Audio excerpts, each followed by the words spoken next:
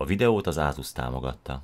Kezdjük azzal, mit jelent egyáltalán, hogy grafikus kártya. A grafikus kártya más néven videókártya, videóadapter vagy grafikus adapter a legtöbb számítástechnikai eszközben az egyik fő alkatrész, amely segít abban, hogy a számítógép és az általunk elkövetett cselekvéseket vizuális formában láthassuk viszont. Tehát a videókártya felelős a megfelelő kép, színminőségi megjelenítésekért, természetesen a monitorunk minősége is fontos, hiszen feladata a rendszer által küldött, elsősorban a processzor vagy a RAM memóriájából történő grafikus információk feldolgozása és analóg vagy digitális digitális jelli alakítása. Szerettem volna egy olyan videót csinálni az Asus jóvoltából, ahol nem csak a teljesítmény van kiemelve, persze lesz róla szó, hanem kicsit mögé is nézünk, és konkrétan a videókártyáról, a videókártya történetéről, vagy akár egy rövid kisokos is lehetne, amelyben érdekességek is helyet kapnak. Számítógép vásárlásnál vagy fejlesztésnél örök kérdés, hogy mit tud a videókártya, milyen grafikus kártyát érdemes megvásárolni. Ilyenkor persze az ár az, amit legfőképpen figyelünk, de azért érdemes kicsit jobban megnézni, hogy mit is tudhat a kiszemelt videókártya, hiszen az árérték itt is sokat számít, mint egyébként minden. A videókártya a legtöbb felhasználónál bővítménykártyaként jelenik meg,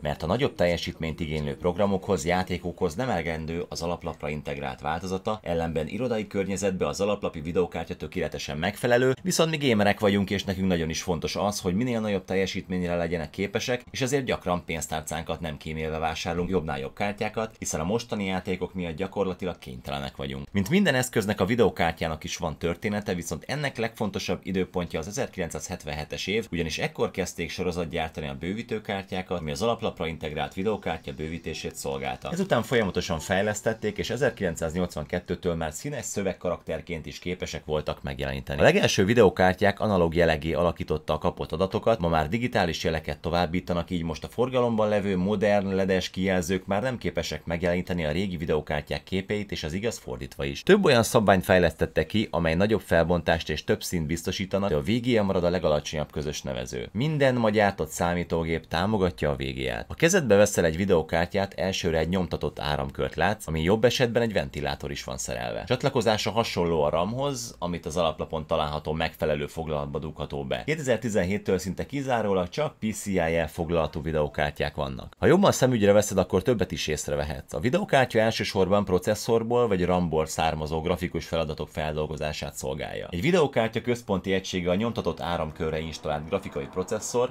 ezt nevez GPU-nak, és azt egy dedikált RAM támogatja, amely segít gyorsan feldolgozni a grafikus adatokat. A legtöbb videokártya rendelkezik hűtőbordával és ventilátorral, majd megfelelő hőmérsékleti szinten tartja a GPU. A videokártya többféle bővítő portot is tartalmaz, például HDMI, TV, stb., ami lehetőséget ad a különféle monitorok, projektorok és egyéb kijelzőkhöz való csatlakozásra. A számítógépházunk méreténél figyeljünk oda, hogy biztosan elférjen a videokártya, mert igénylik a tágas helye. Mik a legfontosabb elem elemei a videokártyának. Mint azt már említettem, a videokártya központi egysége a GPU, azaz a grafikai processzor. Ez hasonlóképpen működik, mint az alaplapi processzor, annyi különbséggel, hogy a grafikai adatok feldolgozása a feladata. Legtöbb helyen GPU-ként jelenítik meg a videokártyákat, tehát ne lepődj meg ezen, ilyenkor nem egy GPU processzort ajánlanak neked. Mint a CPU-nál itt is fontos, hogy milyen teljesítményű a GPU mag és milyen óra jelen dolgozik, azaz milyen sebességgel dolgozza fel az adatokat. A videokártya memóriája ugyanúgy támogatja a GPU-t, mint az alaplapi RAM a CPU-t, azaz a képadatok tárolását és azok gyors elérését biztosítja a processzor és a kijelző között. A videókártya a VRAM-ból az adatokat DVI vagy HDMI porton keresztül digitális jelként továbbítja egy modern, síkképernyős LED kijelzőhöz.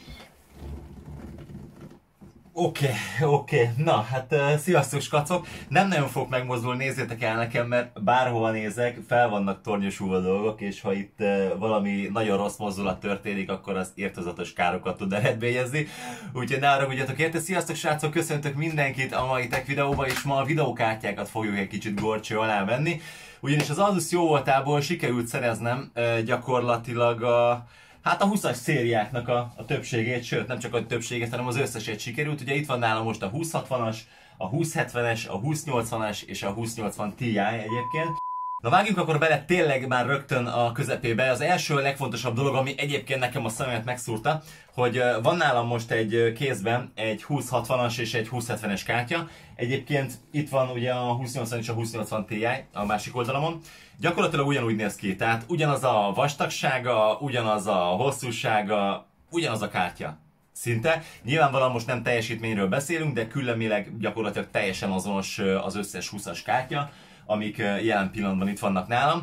Ami egyébként érdekesség, hogy a DVI az abszolút eltűnt a portfólióból, amit nyilvánvalóan megértünk, hiszen a mostani monitoroknak a többsége már szinte nem is tartalmaz DVI, tehát a végjáról már nem is beszélünk.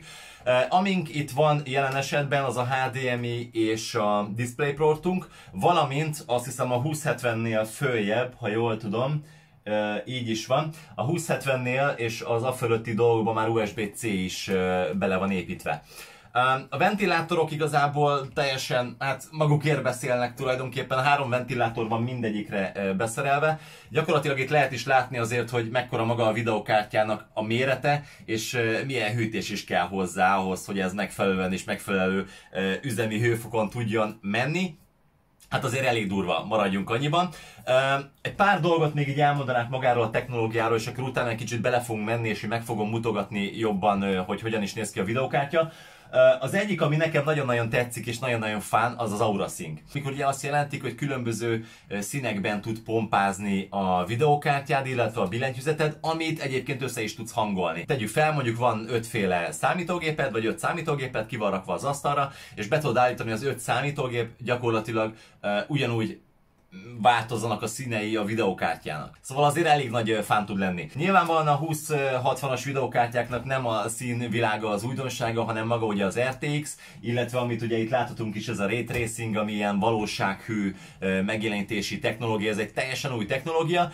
Egy nagyon egyszerű példát tudok erre hozni, például van egy traktorod, és van mondjuk egy pocsolya előtte, és gyakorlatilag abban a, abban a pocsolyában mindent látsz. Tehát ami mondjuk a traktor előtt van, a traktor mögött van, minden visszatükröződik például ebben a, a pocsolyában, tehát igyekszik minél valósághűebben megmutatni az adott környezetet. Egyébként nagyon durva. Amit én hiányolok egyébként így az RTX szériáknál, hogy nincsenek még teljes mértékben RTX támogatott játékokból nagyszámú mennyiség. Tehát jó, persze, oké, van majd nem tudom 10 darab, most így hasra ütöttem nagyjából, de sokkal több vagy sokkal kevesebb sincs, tehát nagyjából azért be lehet lenni, hogy 10-12 darab van, és azon kívül hát így elfogytak a dolgok. Reményeink szerint egyébként folyamatosan jönnek ki, meg, meg azért nyilván most már igyekeznek ezt az RTX-et tolni, és amiket eddig próbáltam, ugye volt egy-két olyan konfigurációs teszt, amiben RTX-es kártyát teszteltünk, ott azért eléggé látszott az, hogy tényleg ez egy új technológia, ez egy előremutató technológia,